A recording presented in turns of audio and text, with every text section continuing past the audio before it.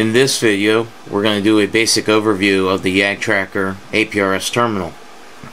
The uh, YagTracker is based on an ARM7 processor. It has a built-in codec-based 1200 baud TNC for both transmit and receive.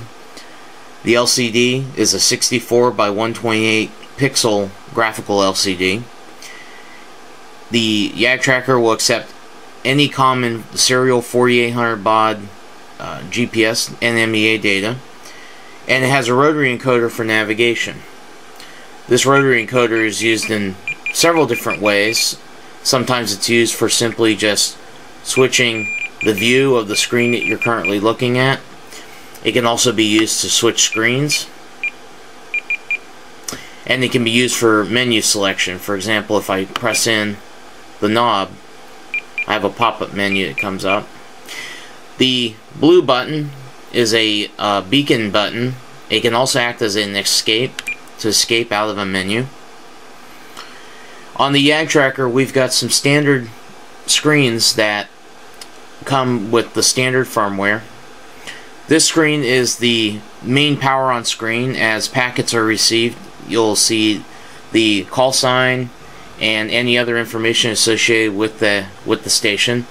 You can always Use the rotary encoder to roll back through the last eight stations displayed. And you always have the latest packet for viewing.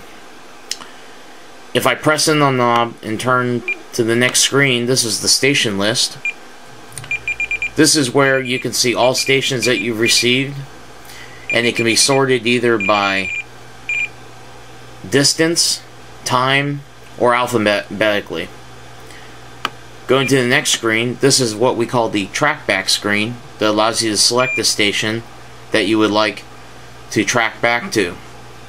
This is easily done by clicking in, going to any station, and selecting the station at which you would like to track. For example, we could select this station here. Going on to the next screen, this is the messaging screen. And on this screen, you can see all messages between you and somebody else, as well as all other messages going through the network. The next screen is the plot screen. This this screen allows you to see all the other stations around you in reference to where you're at. You're in the middle. There's also various information widgets that can be displayed around the corner. Around the corners of the screen and these can be toggled off and on. The last screen is the raw packet screen where you can view an actual packet, raw packet as it's received before anything has been done, any processing or anything. This is uh, very handy for being able to see which digipeater is digipeating what packet, uh, as well as seeing any information in the packet that may not have been displayed on the home screen.